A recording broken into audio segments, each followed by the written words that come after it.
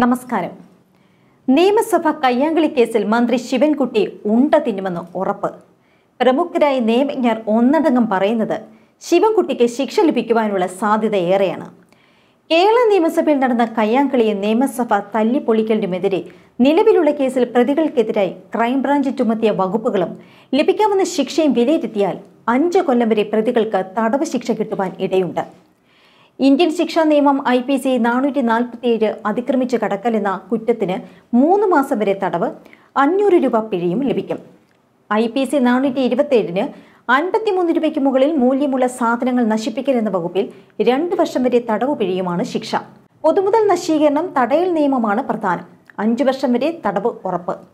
പിഴ കിട്ടാവുന്നതാണ് കുറ്റകൃത്യങ്ങൾ. മൂന്ന് കുറ്റങ്ങൾ തെളിഞ്ഞാലും ഒരേ കുറ്റകൃത്യത്തിന്റെ ഭാഗമായതിനാൽ ശിക്ഷ ഒരുമിച്ച് അനുഭവിച്ചാൽ മതിയാകും.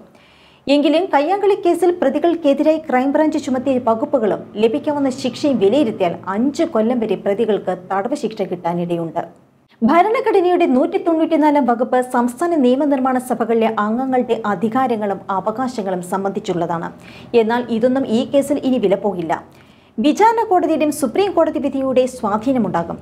ടി വി ചാനലുകൾ കയ്യാങ്കളി തത്സമയം സംപ്രേഷണം ചെയ്തിരുന്നു. നിയമസഭാ സെക്രട്ടേറിയറ്റ് തന്നെ പകർത്തിയ ദൃശ്യങ്ങളുമുണ്ട്. അത് നിർണായകമായി മാറും. നിയമസഭ കയ്യാങ്കളി കേസിൽ വിദ്യാഭ്യാസ മന്ത്രി ശിവൻകുട്ടി അടക്കമുള്ളവർക്കെതിരെ ചുമത്തിയിരിക്കുന്നത് ജാമ്യമില്ലാ കുറ്റങ്ങളാണ്. സുപ്രീംകോടതി ഉത്തരവ് എത്തിയാൽ ഉടൻ പ്രതികൾക്ക് സമൻസ് അയച്ച് വിചാരണ നടപടികൾ ആരംഭിക്കും. അതിവേഗ വിചാരണയ്ക്കും സാധ്യതയുണ്ട്. വിചാരണ ഉടൻ ആരംഭിക്കുന്നതിന് തടസ്സമായി ആറ് പ്രതികളും നൽകിയ വിടുതൽ ഹർജികൾ ഇതേ കോടതിയിൽ പരിഗണനയിലുണ്ട്. അടുത്ത മാസം ഒൻപതിന് പരിഗണിക്കാൻ മാറ്റിയിരിക്കുകയാണത്. ഈ ഹർജിയിലും പ്രതികൾക്കെതിരായി വിധി വരാനാണ് സാധ്യത. അതിനുശേഷം അപ്പീലുകൾക്കും വഴിയൊരുങ്ങും. ഇതെല്ലാം പൂർത്തിയായ ശേഷമേ വിചാരണ നടക്കാൻ ഇടയുള്ളൂ ജനപ്രതിനിധി എന്ന നിലയിൽ പരിരക്ഷ ആർക്കും കിട്ടുകയില്ല. ഇക്കാര്യത്തിൽ സുപ്രീം കോടതി വ്യക്തത വരുത്തിയിട്ടുമുണ്ട്. പൊതുമുതൽ നശിപ്പിക്കുന്നത് അഭിപ്രായ സ്വാതന്ത്ര്യത്തിന്റെ പരിധിയിൽ ഉൾപ്പെടുത്താനാവില്ലെന്ന് കോടതി വ്യക്തമാക്കി. വ്യത്യസ്ത ഭാഗങ്ങളായാണ് ജസ്റ്റിസ് ചന്ദ്രചൂഡ് വിധി പ്രസ്താവിച്ചത്. രണ്ടായിരത്തി ഇരുപത് സെപ്റ്റംബറിലായിരുന്നു കേസ് പിൻവലിക്കണമെന്ന സർക്കാരിന്റെ ആവശ്യം സി ജെ എം ആയിരുന്ന ആർ ജയകൃഷ്ണൻ തള്ളിയത്. ഇന്ന് ആ രേഖയാണ് സി ജെ എം. അതുകൊണ്ട് തന്നെ രേഖയാകും ഇനി ഈ കേസ് പരിഗണിക്കാം. നിലവിൽ ഫാസ്റ്റ് ട്രാക്ക് പ്രത്യേക കോടതിയിൽ ജഡ്ജിയാണ് ജയകൃഷ്ണൻ. എന്നാൽ ജഡ്ജി മാറ്റവും കേസിൽ പ്രതികളെ സഹായിക്കില്ല. അത്രയേറെ പഴുതില്ലാത്ത വിധിയാണ് സുപ്രീം കോടതി ഇന്നലെ പുറപ്പെടുവിച്ചത്. ആദ്യ ഭാഗത്തിൽ എം എൽ എമാർക്ക് നിയമസഭയിൽ പരിരക്ഷ ഉണ്ടോ ഇല്ലയോ എന്ന കാര്യത്തിലാണ് വ്യക്തത വരുത്തുന്നത്. നിയമസഭയ്ക്കുള്ളിൽ ജനപ്രതിനിധി എന്ന നിലയിലുള്ള പരിരക്ഷ മാത്രമാണുള്ളത്. അല്ലാതെ എന്തെങ്കിലും വിധത്തിലുള്ള ക്രിമിനൽ നടപടികൾക്കുള്ള പരിരക്ഷ ഇന്ത്യൻ ഭരണഘടനയോ മറ്റേതെങ്കിലും നിയമനിർമ്മാണ സഭയോ നൽകുന്നില്ല. അതിനാൽ തന്നെ ഈ കേസിലെ പ്രതികൾക്ക് ജനപ്രതിനിധി എന്ന നിലയിലുള്ള പരിരക്ഷ അവകാശപ്പെടാനുമാവില്ല.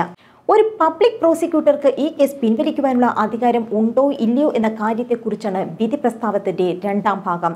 തെളിവുകളുടെ അഭാവം ചൂണ്ടിക്കാണിച്ചുകൊണ്ടാണ് ഈ കേസ് പിൻവലിക്കുവാൻ പ്രോസിക്യൂട്ടർ അപേക്ഷ നൽകിയത്. പബ്ലിക് പ്രോസിക്യൂട്ടറുടെ നടപടി തെറ്റാണെന്നും നിരീക്ഷിച്ചു. ഈ ഹർജി ആദ്യം തള്ളിയ തിരുവനന്തപുരം സി ജി എം കോടതിയുടെ നടപടി സുപ്രീം കോടതി ശരിവെക്കുകയും ചെയ്തു. ഫലത്തിൽ തെളിവുകൾ കൂടി അംഗീകരിക്കപ്പെടുന്നു. കോടതിയുടെ പരാമർശങ്ങൾ എതിരാണെന്ന് ബോധ്യമായി നേരത്തെ കേസ് പിൻവലിച്ചിരുന്നുവെങ്കിൽ ഇത്രയും വലിയ പ്രതിസന്ധി ഉണ്ടാകുമായിരുന്നില്ല. എല്ലാ അർത്ഥത്തിലും ഈ കേസ് സർക്കാരിന് വലിയ തിരിച്ചടിയായി. ഇടതു മുന്നണിക്ക് പോലും രാഷ്ട്രീയ പ്രതിസന്ധി ഉണ്ടാക്കി. ബാർക്കോഴ കേസിൽ കെ എം മാണിയെ ശത്രുപക്ഷത്ത് നിർത്തിയാണ് സഭയിൽ പ്രശ്നമുണ്ടാക്കിയത്. എന്നാൽ മാണിയുടെ പാർട്ടിയായ കേരള കോൺഗ്രസ് ഇന്ന് എൽ ഡി എഫിലാണ്. അതുകൊണ്ട് തന്നെ ഈ കേസിന്റെ വിചാരണ ഘട്ടത്തിൽ പോലും മാണിയെ കുറ്റപ്പെടുത്തുന്നതൊന്നും സർക്കാർ അനുവദിക്കാൻ കഴിയില്ല. ഇത് പ്രതികൾക്ക് പ്രതിസന്ധിയാകും. അതായത് ഇടതുപക്ഷത്തെ നേതാക്കളെ കുടുക്കിലേക്ക് തള്ളിവിടും. News desk ഭാരതകേസരി T